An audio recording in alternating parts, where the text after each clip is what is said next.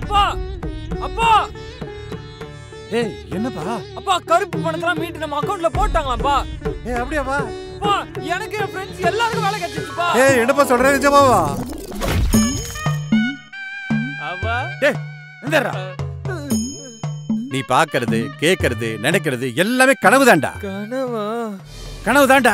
இப்படி கட்டுக்கதைகளை இனியும் நீங்கள் நம்ப போகிறீர்களா? இந்தியாவை காக்க ஸ்டாலின் அழைக்கிறேன்.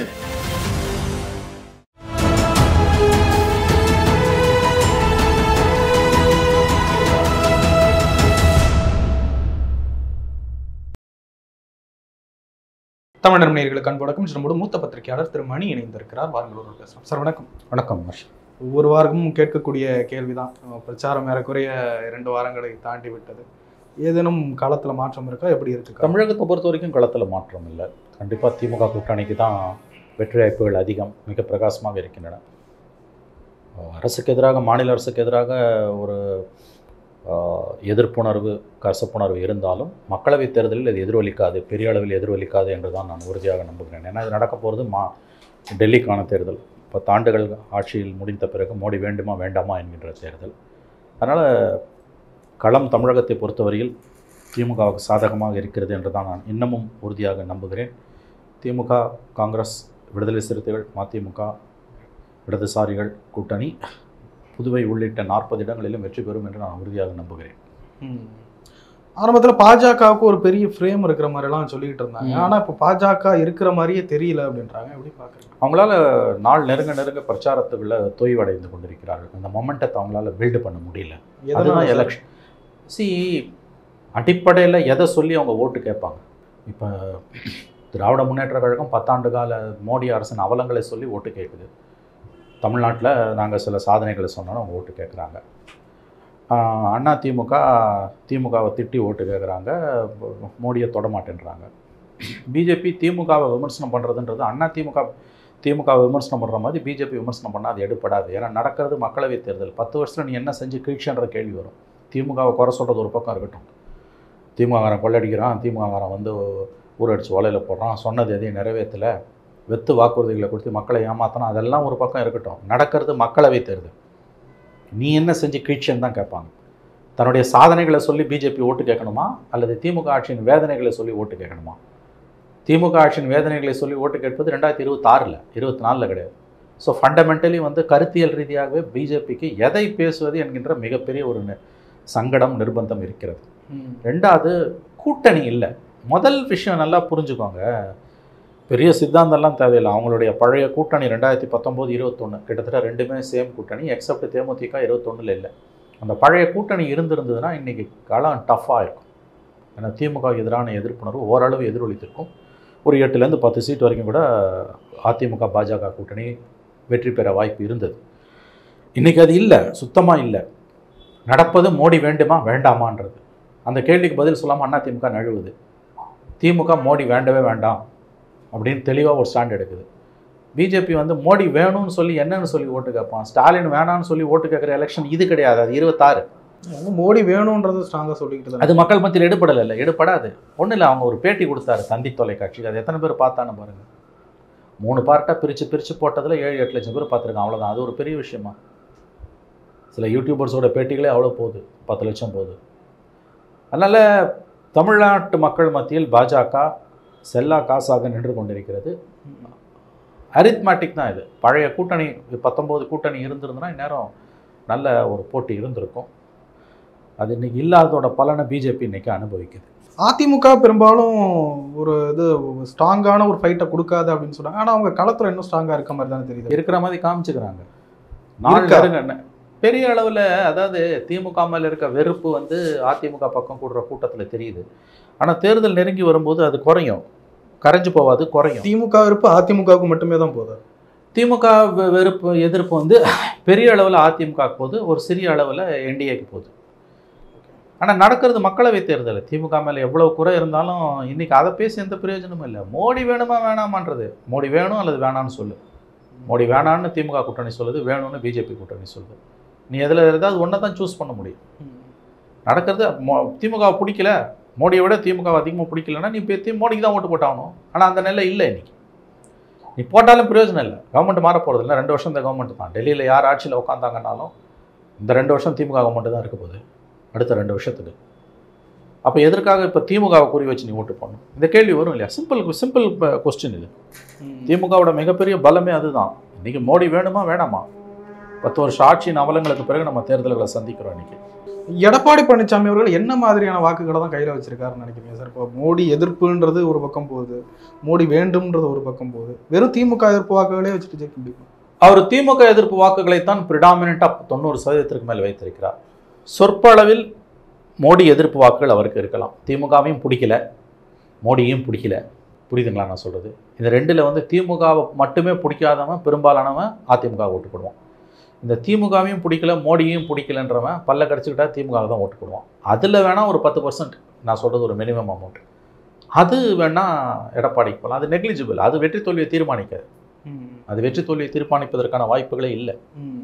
இல்லை பிகினிங்கில் பிஜேபிக்கு தமிழ்நாட்டில் ஒரு பெரிய ஃப்ரேம் இருந்தது. இப்போ அது ஃபுல்லாக நிற்க முடியல அப்படின்னா மோடின்ற ஃப்ரேம் தான் ஒரு பலத்தை. எக்ஸாக்ட்லி மோடியை மட்டும் வச்சு தான் அவங்க இன்னைக்கு ஓட்டு கேட்குறாங்க அது எதிர்மறையாக தான் போகும். நல்லா ஞாபகம் வச்சுக்கோங்க. இருபத்தி ஒன்றில் மோடி படத்தை கீழ்ச்சிட்டு அதிமுககாரங்க வாக்கு பிஜேபி வேட்பாளர்கள் வாக்குகளை கேட்டார்கள். உங்களுக்கு நன்றாக நினைவு இருக்கும். L Murugan. L Murugan Annamalai H Raja இவங்க வானதி. இன்னும் சில கேண்டிடேட்ஸ் எல்லாம் இருபது பேர் நின்னாங்க. அவங்கெல்லாம் வந்து மோடி ஃபோட்டோ பிச்சு எரிஞ்சிட்டு ஜெயலலிதா ஒட்டி ஃபோட்டோ கேட்டாங்க. இதுதான் மோடிக்கு மரியாதை தமிழ்நாட்டில். அப்புறம் அந்த மோடி தான் உங்களுக்கு ஸ்டார் கம்பெனினா நீங்கள் ஜீரோ இந்த களம் திமுகவுக்கு மிக மிக சாதகமாக இருக்குது நேற்றைக்கு முன்தினம் வெளிவந்த இந்தியா டுடே சி ஓட்டருடைய மற்றும் ஒரு கருத்து கணிப்பு. அந்த கருத்து கணிப்பின்படி தமிழ்நாட்டில் முப்பத்தொம்போது இடங்களிலும் திமுக கூட்டணி ஜெயிக்கிறது. நான் அந்த கருத்து கணிப்பை முழுவதும் நம்புகிறேன் நிச்சயமாக அந்த கூட் அந்த கருத்து க அந்த கணு அந்த கருத்து கணிப்பு களத்தை பிரதிபலிக்குதுன்னு நான் உறுதியாக நம்புகிறேன். நான் என் அனுபவத்தில் சொல்கிறேன் கிட்டத்தட்ட இதை நான் பார்க்குற பத்தா ஒன்பதாவது தேர்தல் இது திமுக கூட்டணியின் வெற்றியை எவராலும் தடுக்க முடியாது. தமிழ்நாட்டில் முப்பத்தொன்பது புதுச்சேரியும் சேர்த்துக்கலாம். நாற்பது இடங்களிலும் திமுக கூட்டணி வெற்றி பெறுவது உறுதி என்று நான் நம்புகிறேன். இன்னமும் நம்புகிறேன். எடப்பாடி பழனிசாமி அவரே அந்த செகண்ட் பொசிஷனை கையில் இப்போ செகண்ட் யாருன்றது தான் கொஸ்டின் அதிமுகவுக்கும் பிஜேபிக்கும் நடக்கிற போட்டி செகண்ட் யாருக்குன்றது தான். ஃபஸ்ட்டு கிடையாது. டிடிவி தினகரனையும் ஓபிஎஸ்சியும் கொண்டு போய் பிஜேபி உசுப்பி விட்டு நிற்க வச்சது எதுக்குன்னா முக்குலத்தோர் வாக்குகள் எடப்பாடிக்கு இல்லை இவங்களுக்கு தான் அப்படின்னு காட்டுறதுக்கு தான் கொண்டு போய் நிறுத்துறாங்க. அது இருபத்தாறில் உதவும் நம்புறாங்க. ஸோ ஃபைட் வந்து நம்பர் டூக்கு தான். நம்பர் ஒன்றுக்கு இல்லை. இது தெரிஞ்ச விஷயம் இது. இது எல்லாருக்கும் தெரியும். நாள் நெருங்க நெருங்க இவங்க யாரும் கிரவுண்டில் இருக்கவே மாட்டாங்க. நான் சொல்கிறேன். விளையாட்டு இல்லை. ஒரு பார்லிமெண்ட் எலெக்ஷனை ஜெயிக்கிறதுன்றது. அவங்க பண்ண பெரிய ஸ்ட்ராட்டஜி யானைக்கும் அடி சறுக்கணும்ல அமித்ஷா மோடி பண்ண பெரிய தப்பு. நல்லா இருந்த கூட்டணியை நாசம் பண்ணி தமிழ்நாட்டில் நல்லா இருந்த கூட்டணியை நாசம் பண்ணது. அதுக்கான பலனை அனுபவிக்கிறாங்க. ஆணவத்தில் அந்த முடிவை எடுத்தார்கள். வட இந்தியாவில் முந்நூறு சீட்டு ஜெயிச்சிருவோம். தமிழ்நாட்டில் நம்ம இஷ்டத்துக்கு ஆடலாம். எடப்பாடியை வந்து வழி கொண்டு வந்துடலாம். மீறி திமிறினார்னா இடி ரைடு விட்டு சமாளிச்சுலாம் அப்படி மீறி திமிரி போறாருன்னா போய் தொலையிட்டோம். நம்ம தனியாக அங்கே நின்று பார்த்துலாம் அப்படின்னு நினச்சாங்க. நாள் ஆக ஆக வட இந்தியாலையும் செல்வாக்கு குறையுதுன்றது தெரியுது. மோடியை எடப்பாடியை வழிக்கு கொண்டு வர முடியாதுன்னு தெரியும் போது அவர்கிட்ட காம்ப்ரமைஸ் பேசுகிறாங்க அதுக்குள்ளே காலம் கடந்து போயிடுச்சு. எட்டு மாதத்துக்கு முன்னாலே அந்த எண்மண் எண் மக்கள் யாத்திரை மாதிரியான விஷயங்கள் எல்லாம் கம்ப்ளீட்டாக தவிர்த்துட்டு அண்ணாமலையை மாற்றிட்டு தமிழிசையை தலைவராக போட்டு அவங்க பழைய அலையன்ஸ் இணக்கமாக இருந்திருப்பாங்க அந்த அம்மா கூட்டணி கட்சியோட நல்லா தானே இருந்தது அண்ணாமலை பலம் இல்லையா சார்? கிடையவே கிடையாது. அது சும்மா அவர் காலகட்டத்துல தான் அதாவது அது என்னன்னா ஒரு ரெண்டு பர்சன்ட் ஓட்டு மூணு பர்சன்ட் ஓட்டு உயர்ந்திருக்கலாம் நான் மறுக்கல. ஜெயிக்க முடியாது. அதோட விலை என்ன தெரியுமா? அந்த மூணு பர்சன்ட் ஓட்டு உயர்ந்திருக்குல்ல. அது வளர்ச்சி தானே? அது வளர்ச்சி தான் நான் மறுக்கல. ஜெயிக்கிறதுக்கான வளர்ச்சி கிடையாது. இப்போ அவங்க ஓட் பர்சன்ட் மூணு பர்சன்ட் மூணுலேருந்து நாலு பர்சன்ட் இன்னைக்கு அது எயிட் டு நைன் பர்சன்ட் ஆயிருக்கு அவ்வளோதான் அவங்களே ஓப்பனா சொல்றாங்க எங்க எய்ம் ரெண்டாயிரத்தி இருபத்தி ஆறு தானே. அதுதான் நான் சொல்ல வரேன். மூணுலேருந்து நாலு பர்சன்ட் தான் அவங்களோட ஒரிஜினல் ஓட் ஷேர் இப்போ அது எவ்வளோ வளர்ந்துருக்குன்னா எயிட் டு நைன் பர்சன்ட் தான். இவங்க சொல்கிற மாதிரி பதினெட்டு இருபதெல்லாம் கதை. அது அவங்களுக்கு நல்லா தெரியும். ஊரை ஏமாத்துறாங்க. இந்த மூணுலேருந்து நாலு பர்சன்ட் எயிட் டு நைன் பர்சன்ட்டாக வளர்ந்ததால எந்த பிரயோஜனமும் கிடையாது. நீ ஒரு சீட்டு கூட ஜெயிக்க முடியாது. இன்றைக்கி அவங்களோட வாக்கு வங்கி மொத்தமாக சேர்த்தீங்கன்னா பதினாறுலேருந்து பதினெட்டு பர்சன்ட் இருக்கும். அவ்வளோ அதிகபட்சம் நான் சொல்கிறேன் பதினஞ்சு தான். நான் அதிகமாக ஒரு கூட மார்க் போட்டு கொடுக்குறேன். அங்கே இருக்க பெரிய கட்சி எது? பிஜேபிக்கு அடுத்தது அமமுக பாமக. சாரி பாமக அப்புறம் அமமுக அவரோட இவங்க எல்லாரும் சேர்த்தாலே பன்னெண்டுலேருந்து பதினாலு பர்சன்ட் வராது. இன்னொரு ஃபோர் பர்சன்ட் கூட வச்சிங்கன்னா கூட சிக்ஸ்டீன் டு எயிட்டீன் பர்சன்ட் தான். ஜெயிக்கலாம் முடியாது கண்ணா. ஜெயிக்கிறதுக்கு நீ முப்பது பர்சன்ட் கிராஸ் பண்ணணும். எந்த கொம்பனாக இருந்தாலும் தமிழ்நாட்டில் திமுக அதிமுக உதவி இல்லாமல் ஜெயிக்கிறதுன்றது குதிரை கொம்பு. அது ஒரே ஒரு தூரம் நடந்தது. ரெண்டாயிரத்தி பதினாலில் பொன்னார் கன்னியாகுமரியிலும் தருமபுரியில் அன்புமணியும் ஜெயிச்சாங்க. ரெண்டுமே அப்ரேஷன் விதி விலக்கு விதிகள் பற்றி தான் நம்ம பேச முடியும். விதி விலக்குகளை பற்றி பேச முடியாது. Exceptions cannot be the rule. Rule தான் நம்ம பேசணும். நடைமுறை திமுக அதிமுக இல்லாமல் பார்லிமெண்ட் எலெக்ஷனில் எந்த கொம்பனாலையும் ஜெயிக்க முடியாது. அது ரெண்டே ரெண்டு ஒரு தடவை நடந்தது இன்னொரு தடவை நடக்காது அது. எழுதி வச்சுக்கோங்க நடக்காது. அதுவே ரெண்டாயிரத்தி பத்தொம்போதில் நடக்கல. இது மோடிக்கான தேர்தலுங்க. மோடி வேணுமா வேணாமா? வெரி சிம்பிள் கொஸ்டின் ஏன் எடப்பாடிலாம் வந்து தோலுரிந்து போவார்னு நான் சொல்கிறேன்னா அவர் பிஜேபியை தொட மாட்டேன்றார் மோடியை தொட மாட்டேன்றார். நேரடியாக ஒரே கேள்விங்க எடப்பாடி கிட்ட அண்ணா திமுக கிட்ட. ஐயா நீங்கள் மோடி வேணுன்றீங்களா வேணான்றீங்களா? இதுக்கு பதில் சொல்லுங்க. சிம்பிள் கொஸ்டின் இந்த வள வள திமுக கொள்ளடிச்சிட்டான் ஸ்டாலின் கொள்ளடிச்சிட்டாரு உதயநிதி வந்து போதைப் பொருள் கடத்துறவனோட ஃபோட்டோ எடுத்துக்கினாரு. இந்த இந்த கதெல்லாம் ஒரு பக்கம் இருக்கட்டும். திமுக கூட்டணி வலுவாக இருக்குது. அவங்க மோடி வேணான்றாங்க. பிஜேபி கூட்டணி மோடி வேணுன்றாங்க மீண்டும் வேண்டும் மோடி மீண்டும் மோடி. அண்ணா திமுக ஸ்டாண்ட் இதில் என்ன? ஒரே ஒரு கேள்வி தான் இந்த எலெக்ஷனில் மோடி வேண்டுமா வேண்டாமா? அதுக்கு பதில் சொல்லிட்டேன் எடப்பாடி. அதை தான் அவர் பேசணும். சும்மா திமுக திட்டுறது கிடையாது இது எலெக்ஷன் கிடையாது. அது இருபத்தாறு எலெக்ஷன் திமுக மட்டுமே அவர் திட்டுறாருன்னா அவர் பிஜேபியோட கண்டிப்பாக அண்டர் ஹேண்டிலிங்கில் இருக்காருன்னு கள்ள உறவில் இருக்கிறாருன்னு நாளும் பொழுது திமுக வைக்கக்கூடிய குற்றச்சாட்டு உண்மை என்ற எண்ணம் தான் மக்கள் மத்தியில் வளரும். இந்த எண்ணம் வளராமல் பார்த்து கொள்வது எடப்பாடிக்கு நல்லது. ஏன்னா அவர் ஒரு நல்ல முடிவு எடுத்திருக்காரு. பிஜேபியோட உறவை அறுத்துட்டு சிறுபான்மையின மக்களுக்கு நம்பிக்கை கொடுக்கக்கூடிய முடிவு எடுத்திருக்காரு. இருபத்தாறு குறி வைக்கிறார். இந்த தேர்தல் தோப்போன்னு அவருக்கு நல்லா தெரியும். ஆனால் இதில் உங்களுக்கு நம்பிக்கை நம்பகத்தன்மை எடப்பாடிக்கு அதிமுக வரணும்னா டைரெக்டாக மோடி அட்டாக் பண்ணணும். இது சிம்பிள் கொஸ்டனுக்கு பதில் சொல்லாமல் நழுவி போகிறதால நீங்கள் எதுவும் சாதிக்க போகிறது கிடையாது. மக்கள் மன்றத்தில் அம்பலப்பட்டு போவீர்கள். பல தொகுதி சில தொகுதிகளில் நம்பர் த்ரீ பொசிஷனுக்கு அதிமுக தள்ளப்படும். தெரிந்தே தான் எடப்பாடி பழனிசாமி செய்யறாரு அவர் இருபத்தாறு குறி வச்சு பண்ணுறாருங்க ஆனால் இப்போ ஒரு மனிதன் ரெண்டு படகுகளில் சவாரி செய்ய முடியாது. இதை பாஜக அப்படி எடுத்துப்போம்? பாஜக இப்ப தமிழ்நாட்டுனால மோடி ஆட்சிக்கு வர்றதும் வராததும் தீர்மானிக்க முடியாது. தேவையில்லை அப்படின்னு வச்சுக்கோங்களேன். ரெண்டாயிரத்தி இருபத்தி ஆறுக்கான ஒரு அஸ்திவாரமா இதை அவங்க போடலாமே. அப்படி பார்க்கலாம்ல. வாக்கு பர்சன்டேஜ் உயர்ந்து அப்படிதான் முதல்ல நினைச்சாங்க. ஆனால் வட இந்தியாவில் அவங்க நினைக்கிற மாதிரி இல்லை. தமிழ்நாடும் தேவையா அவங்களுக்கு தமிழ்நாடும் தேவை என்ற சூழ்நிலை வரலாம். ஒன்று தெரிஞ்சுக்கோங்க. சிறு துரும்பு பல்லு குத்த உதவுன்னுவாங்க. ரெண்டாயிரத்தி நாலு ஆட்சி மாற்றம் தமிழ்நாடால் மட்டும்தான் சாத்தியப்பட்டது. தமிழ்நாடு லெட் டவுன் அஸ் அப்படின்னு ரெண்டாயிரத்தி நாலு ரிசல்ட் வந்தப்ப அத்வானி சொன்னார். தேர்தல் முடிவுகள் வந்த அன்னைக்கு அத்வானியோட ஃபேமஸ் வேர்ட்ஸ் மன்மோகன் சிங் கவர்மெண்ட் தோத்து வாஜ்பாய் கவர்மெண்ட் வாஜ்பாய் கவர்மெண்ட் தோத்து மன்மோகன் சிங் ஆட்சிக்கு வந்தப்போ பிஜேபிக்கும் காங்கிரஸுக்குமான வித்தியாசம் ஜஸ்ட் செவன் சீட்ஸ் தான். யூபிஏ ஒன்னில் Congress one forty four BJP one thirty seven அலைன்ஸோடு சேர்ந்து நின்றாங்க. அஃப்கோர்ஸ் யூபிஏ டூவில் வந்து Congress two hundred and eight BJP one hundred and fifteen இந்த தேர்தல்லையும் தமிழ்நாடு டிசைசிவாக இருக்கலாம். நீங்கள் எதையுமே ஒதுக்கி தள்ள முடியாது. என்ன நடக்கும் யா- இந்த எல்லா கருத்து கணிப்புகளுமே பொய்யா போகலாம் நமக்கு தெரியாது. மக்கள் மனங்கள் என்ன இருக்குன்னு. தேர்தல் அன்னைக்கு தான் முடிவு பண்ணுறவங்களாம் இருக்கான் எவ்வளோ பேர். ஒரு அளவு நம்ம சொல்லலாம். எங்களுக்கு தமிழ்நாடே தேவையில்லை. நாங்கள் தோக்கிற ஜெயிக்கிறதுக்கு வட இந்தியா போ அதெல்லாம் இருமாப்பான எண்ணம். அப்படி கிடையாது. அப்படி பார்த்தீங்கன்னா ரெண்டாயிரத்தி நாலு ரிசல்ட்டை வந்து எப்படி எடை போடுவீங்க? நாற்பது சீட்டு ஜெயிச்சாங்க. DMK Congress left PMK MDMK நாற்பது சீட்டு ஜெயிச்சாங்க. பிஜேபி ஏடிஎம்கே அலையன்ஸ் ஏழு சீட்டு பிஜேபி கொடுத்துட்டு ஜெயலலிதா முப்பத்தி மூணு சீட்டு நாங்கள் நாற்பது சீட்டு தோத்துது. ரிசல்ட் வந்து சில மணி நேரங்களில் டெல்லியில் அத்வானி சொன்னார் தமிழ்நாடு லெட் டவுன் சொன்னார். தமிழ்நாடு தான் குரூஷியல் ரோல் ப்ளே பண்ணுச்சு ஆட்சி மாற்றத்துக்கு வாஜ்பாய் அரசை வீட்டுக்கு அனுப்புறதுக்கு. நல்லா ஞாபகம் வச்சுக்கோங்க அந்த நாற்பதில் ஒரு இருபது இருபது வந்துருதுன்னா பிஜேபி உட்காந்துட்டு அந்த மாதிரி இந்த தடவையும் நடக்கலாம் நமக்கு தெரியாது. நான் அதை தான் சொல்கிறேன் நல்லா இருந்த அலையன்ஸை நாசம் பண்ண பெருமை அண்ணாமலைக்கு தான் சாரும். அது தல் தமிழ்நாட்டுக்கு நல்லது வேறு விஷயம். எண்மன் எண் மக்கள் யாத்திரை போகும்போது பெருந்தன்மையாக தன்னுடைய கட்சி பிரதிநிதியாக உதயகுமார் அனுப்புனார் எடப்பாடி. இன்னொரு கட்சி அவன் கட்சியை வளர்க்குறதுக்கு யாத்திரை போகிறார் அவர். அதிமுக பலமான ஒரு கட்சி. அவங்களோட பொலிட்டிக்கல் ஸ்பேஸை காலி பண்ணுறதுக்கு வராரு. அவர் அவங்க மேடையில் எதுக்கு அவர் ஏறணும்? நிர்பந்தத்தால் ஏறினார் அமித்ஷா வந்தார்னு அந்த நன்றி அண்ணாமலைக்கு இருந்ததா? பிரச்சாரம் ஆரம்பித்த அஞ்சாவது நாளே ஜெயலலிதாவையும் அண்ணா அண்ணா அவர்களையும் மறைந்த அண்ணா அவர்களையும் கடுமையாக விமர்சனம் பண்ணார். ஒரு கட்டத்தில் ஒரு உறவை அறுத்து எரிஞ்சார் எடப்பாடியாக அந்த அலையன்ஸ் மட்டும் இன்டாக்டாக இருந்திருந்ததுன்னா இப்பயும் சொல்கிறேன் இன்றைக்கி திமுக தண்ணி குடிச்சிருக்கும். யார் கண்டா? இந்த தமிழ்நாட்டில் பிஜேபி செய்த தவறு ரெண்டாயிரத்தி நாலில் எப்படி ஆட்சி மாற்றத்துக்கு வழிவகுத்ததோ அதே மாதிரி இந்த முறையும் மோடி பதவியிலிருந்து இறங்குவதற்கு தமிழ்நாடு காரணமாக அமையலாம். ஒன்று தெரிஞ்சுக்கோங்க இரநூத்தி எழுபத்தி ரெண்டு தான் simple majority Modi one point zero two eighty two two point zero three nought three. இந்த முறை சத்தியமாக அந்த டூ செவன்ட்டி டூலாம் வரதுக்கு வாய்ப்புகள் மிக மிக மிக மிக குறைவு. இரநூத்தி எழுபத்தி ரெண்டு கீழே ஒரு முப்பது நாற்பது சீட்டு குறைஞ்சதுன்னா பிஜேபி சிங்கிள் லார்ஜஸ்ட் பார்ட்டியாக வரும் மறுக்கல. மோடி பிஎம் கிடையாது அப்போ வேற யாராவது தான் வருவாங்க. கூட்டணி அரசு நடத்துவதற்கான வல்லமை பெற்ற தலைவர் மோடி கிடையாது. அவர் தனிப்பெரும் மெஜாரிட்டி கொண்ட அரசுகளுக்கு தான் தலைவர். ஆகவே பிஜேபி தமிழ்நாட்டில் செய்த தவறு ரெண்டாயிரத்தி இருபத்தி நாலு தேர்தலில் மத்தியில் அவர்கள் ஆட்சி இழப்பதற்கோ அல்லது மோடி பிரதமராக இல்லாமல் போவதற்கோ வழிவகுத்தால் அதில் ஆச்சரியப்பட ஏதும் இல்லை தமிழ்நாட்டுல இப்படி கேட்குறேனே இப்போ ரெண்டாவது இடம் தான் அதுக்கு தான் போட்டின்றீங்க ரெண்டாவது இடம் யாருக்கு சாதகமா இருக்கு களத்துல? அது ரெண்டாவது இடம் ஏடிஎம்கேக்கு தான் வரும். சில தொகுதிகளில் வேண்டுமானால் பிஜேபி ரெண்டாவது இடத்துக்கு வரலாம். சில தொகுதிகள்.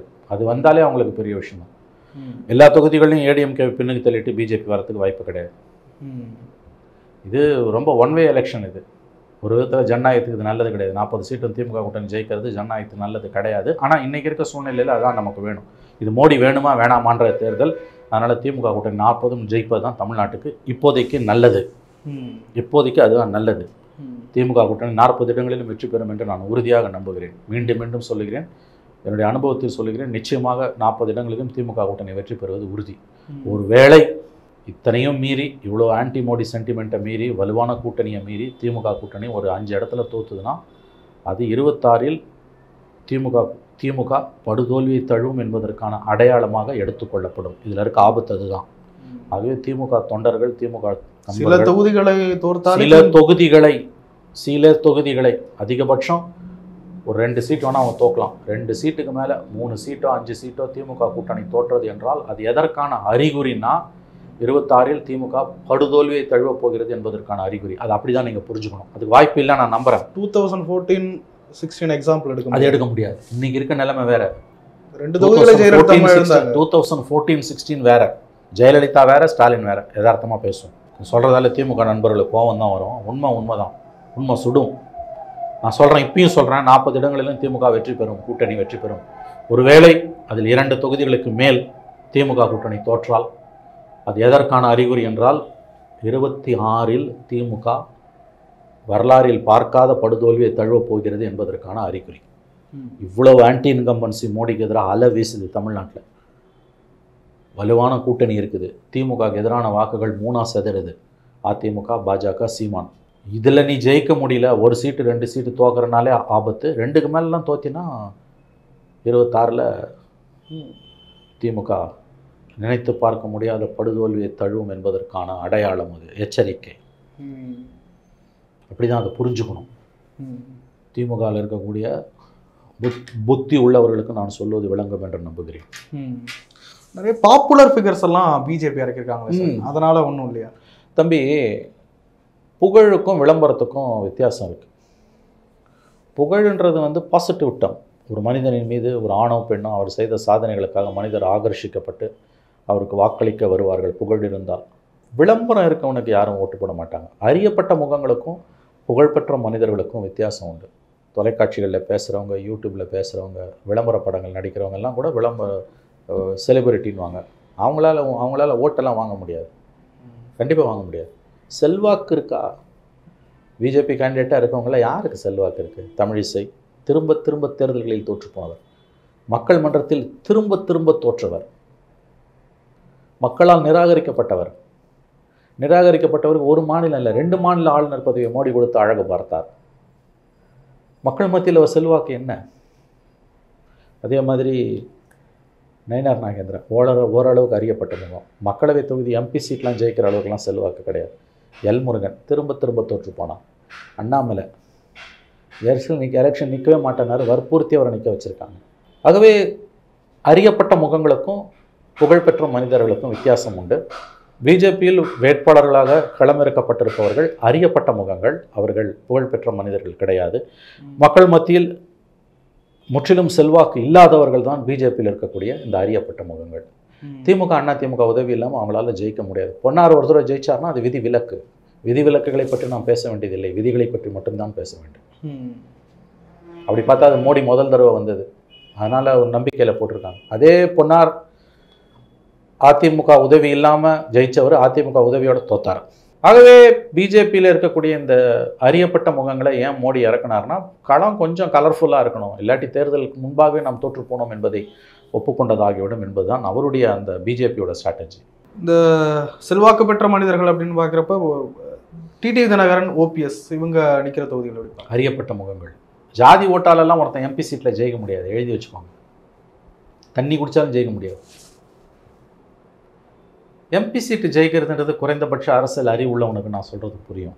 அசம்பிளியில் ஜெயிக்கலாம். பார்லிமெண்ட்டில் ஜெயிக்க முடியாது. பார்லிமெண்ட்டில் நாட் ஓன்லி வாக்காளர் எண்ணிக்கை அதிகன்றது மட்டும் இல்லை அது மட்டும் இல்லை எல்லாரும் அதை மட்டும் வச்சு சொல்கிறாங்க மக்கள் தமிழ்நாட்டு மக்கள் ரொம்ப தெளிவானவர்கள். பார்லிமெண்ட்டுக்கு தனிநபருக்கு எவ்வளவு செல்வாக்கு இருந்தாலும் போட மாட்டாங்க. அசம்பிளிக்கு வேணால் போடுவாங்க. ஆனானப்பட்ட எம்ஜிஆர் தோத்தார் அதை தான் நான் அடிக்கடி சொல்கிறேன் நாற்பத்தாலு வருஷத்துக்கு மேலே ஆனானப்பட்ட எம்ஜிஆர் அவ்வளோ பெரிய ஒரு செல்வாக்கு மிக்க தலைவர். ஃபின்னாமினா பேரதிசயம். அண்ணாவை விட செல்வாக்கு பெற்ற தலைவர் எம்ஜிஆர். என்னால் அடித்து சொல்ல முடியும். சொன்னால் கோவம் வரும் எங்களுக்கு. அது என்ன மாதிரியான செல்வாக்கு அண்ணாவோட எம்ஜிஆர் அறிவாளியா? அதெல்லாம் வேற. செல்வாக்கு நான் சொல்கிறது மக்கள் மத்தியில் செல்வாக்கு. அண்ணாவோட எம்ஜிஆருக்கு அதிகம். அந்த எம்ஜிஆர் தோற்று போனார். பார்லிமெண்ட்டில் அது எப்படி தோத்தார்? முப்பத்தேழு சீட்டு தோத்தார். பாண்டிச்சேரியோடு சேர்த்து நாப் முப்பத்தி எட்டு தோத்தார். திமுக காங்கிரஸ் கூட்டணிக்கிட்ட கவர்மெண்ட்டை கழிச்சிட்டு எலெக்ஷன் வச்சாங்க. ஆறே மாதத்தில் ஸ்வீப் பண்ணிட்டு வந்தார். நூற்றி முப்பது சீட்டு. அவர் ஜெயிச்சப்போ வந்த க்ரௌடெல்லாம் பார்த்தீங்கன்னா நினச்சே பார்க்க முடியாது. கற்பனை பண்ண முடியாது. அந்த மாதிரியான க்ரௌடு அவ்வளோ பெரிய செல்வாக்கு மிக்க தலைவர் அவர் தோத்தார். ஆகவே இந்த மக்களவை தேர்தல்களில் ஜாதி செல்வாக்காக எல்லாம் யாராவது வெற்றி பெறுவாங்கன்னு நினைத்தால் அது ரொம்ப ரொம்ப ரொம்ப முட்டாள்தனம். அடிப்படை அரசியல் அறிவு இல்லாதவர்கள் தான் அப்படிலாம் பேசுவாங்க. வாக்குகளை வாங்கலாம். ஜெயிக்க முடியாது. ஓபிஎஸ்க்கு அந்த தலைவர்ன்ற அந்த ஒரு பொசிஷன் இல்லையோ? கிடையவே கிடையாது. தலைவர் chief அந்தஸ்து minister, கிடையவே கிடையாது. ஃபார்மர் சீஃப் மினிஸ்டர் எல்லாருமே தலைவர் இருந்திருக்காரு தலைவர்னா ஜெயலலிதா கலைஞர் தாங்க தமிழ்நாட்டில் தலைவர்னா. அதுக்கப்புறம் யாரும் தலைவர் கிடையாது. அந்த செல்வாக்கு யாருக்கும் கிடையாது. ஒரு கட்சியோட இமேஜ் அவன் பார்க்க மாட்டாங்க. அவருக்கு என்ன கட்சி? இருக்கு நம் காலகட்டத்தின் செல்வாக்குமிக்க தலைவர்கள்னா உண்மையிலேயே செல்வாக்குமிக்க தலைவர்கள்னா ஜெயலலிதாவும் கலைஞரும் தான் அந்த இலக்கணத்துக்கு முழு அளவுகோல் அதுக்கப்புறம் இருக்கவங்கெல்லாம் தலைவர்கள் நம்ம சொல்லிக்கலாம் அவ்வளோதான் அதனால் பார்லிமெண்ட்டை ஜெயிக்கிறதுன்றதெல்லாம் இது தெளிவான விஷயங்க இது. டிஎம்கேக்கு கேக் வாக்கு இது. நான் உறுதியாக சொல்லுவேன் இப்போ மோடி வேணுமா வேணாமான்றது.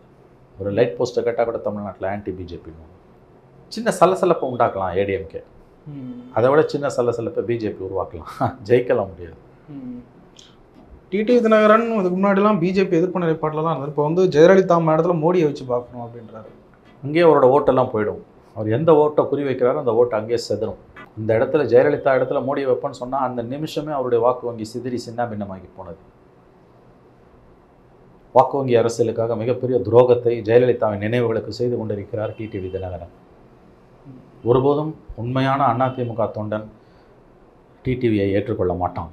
மத ஓட்டுகளை பாஜக குறிவைத்திருப்பார்கள் நிச்சயமாக தமிழ்நாட்டில். அது தமிழ் அவங்க குறி வைக்கிறாங்க அது உண்மை ஆனால் அது விழாது. வட இந்தியாவில் விழற மாதிரி அவங்களுக்கு இப்போ விழாது. அடுத்தடுத்த தேர்தல்கள் என்ன நடக்கும் நமக்கு தெரியாது. கண்டிப்பாக இந்த தேர்தலில் விழா. அவங்க குறி வைக்கிறாங்கன்றது உண்மை. இந்துக்கள் இந்து ஓட்டுன்றாங்க ஆனால் அதை வெளிப்படையாக சொல்ல தயங்குறாங்க. அப்படி சொன்னாங்கன்னா இந்துக்கள் ஓட்டு போயிடும்ன்ற பயமும் அவங்களுக்கு இருக்குது கர்வசே கஹோ ஹிந்து ஹே இந்து கத்ரே மே ஹே அப்படிலாம் கத்துறாங்கல்ல. கர்வமாக சொல்லு நான் இந்து இந்துக்களுக்கு ஆபத்து ஏற்பட்டிருக்குன்னெலாம் ஸ்லோகன்ஸ் போடுறாங்கல்ல முழக்கங்களை வட இந்தியாவில் எழுப்புகிறார்கள் அந்த பருப்பு தமிழ்நாட்டில் வேகாதுன்னு தெரிஞ்சு தான் அதை வெளிப்படையாக சொல்ல மறுக்கிறாங்க. இஸ்லாமியர்களுக்கு எதிராக கிறிஸ்தவர்களுக்கு எதிரான பிரச்சாரத்தை நேரடியாக பொதுவெளியில் வைக்க அதிமுக அஞ்சுவது பிஜேபி அஞ்சுவதன் காரணம் இங்கே இருக்கக்கூடிய ஒரு சராசரி இந்து. அவன் எந்த ஜாதியை சேர்ந்தவனாக இருந்தாலும் அவன் மத சார்பற்றவன். அவன் சபரிமலை கோயிலுக்கு போவான் பழனி கோயிலுக்கு போவான் ஆனால் பெரியார் திடலுக்கும் போவான் அவன். அல்லது பெரியாரை வந்து அவன் எதிர்க்க மாட்டான். பெரியாரை ஏற்றுக்கிறானோ இல்லையோ குறைஞ்சபட்சம் பெரியாரை எதிர்க்க மாட்டான். பெரியார் சிலையை உடைக்கணும்னா அதை அவன் எதிர்ப்பான் தடுப்பான். அதுதான் தமிழ்நாட்டு மண்ணோட சிறப்பு. கடவுளை நம்புபவன் காட்டுமிராண்டின்னு சொன்ன பெரியாரையும் அவன் ஏற்றுக்கிறான் ஸோ இந்த மண்ணுடைய மிக முக்கியமான அந்த பரிமாணங்கள் பிஜேபிக்கு இன்னமும் புலப்படலை புரிப்படலை அவங்க தொடர்ந்து தமிழகத்தில் தவறுகளே செஞ்சுட்ருக்காங்க அவங்க அப்படியே இருக்கட்டும் அது நல்லது. ஆனால் அவங்க வந்து எப்படி இருக்காங்கன்றதை நான் சொல்கிறேன் இங்கே ஆகவே இந்துக்கள வாக்குகளை அவர்கள் குறிவைக்கிறார்கள் மத ரீதியாக நீங்கள் உண்மை. ஆனால் அது ஜெயிக்காது. அதையும் அவங்களால வெளிப்படையாக செய்ய முடியல. ஸ்ட்ராட்டஜியே இல்லை தமிழ்நாட்டில் பிஜேபிக்கு திமுகவை திட்டி நீ ஓட்டு கேட்டு என்ன பிரயோஜனம்? மோடி சாதனையை சொல்லி ஓட்டு கேளு. சொல்கிறதுக்கு சாதனையே கிடையாது. வேதனை தான் மிஞ்சுது. அதனால மோடியை சொல்ல முடியல நீங்கள் நிச்சயமா சார் நிறைய விஷயங்களை போய் முடியும் நன்றி. நன்றி நன்றி நன்றி. அப்பா! அப்பா! ஏய் என்னப்பா? அப்பா கருப்பு பணத்தெல்லாம் மீட்டு நம்ம அக்கவுண்ட்ல போட்டாங்களாப்பா? ஏய் அப்படியாப்பா? அப்பா எனக்கு என் ஃப்ரெண்ட்ஸ் எல்லாருக்கும் வேலை கிடைச்சிருச்சுப்பா. ஏய் என்னப்பா சொல்ற நிஜமாவா? அப்பா டேய் இந்தடா நீ பாக்குறது கேக்குறது நினைக்கிறது எல்லாமே கனவு தான்டா கனவா? கனவு தான்டா இப்படி கட்டுக்கதைகளை இனியும் நீங்கள் நம்ப போகிறீர்களா? இந்தியாவை காக்க ஸ்டாலின் அழைக்கிறேன்.